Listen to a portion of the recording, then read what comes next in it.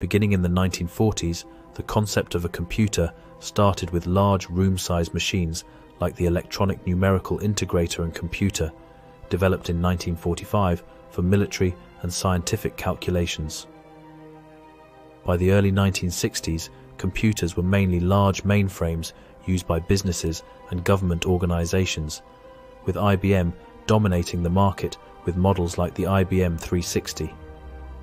The mid-1960s saw the development of mini-computers, such as the Digital Equipment Corporation's PDP-8, making computers more accessible to smaller businesses and research institutions.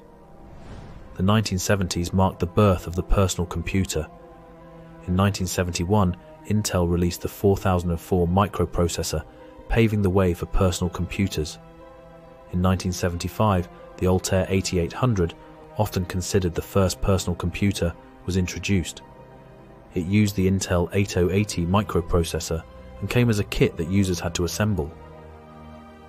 In 1976, Steve Jobs and Steve Wozniak founded Apple Computer and released the Apple I, followed by the highly successful Apple II in 1977, which became popular in homes and schools.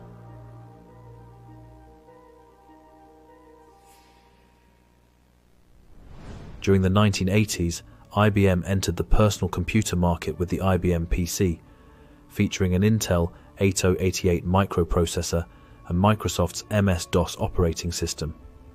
Its open architecture allowed third-party companies to produce compatible hardware and software, leading to the proliferation of IBM-compatible PCs.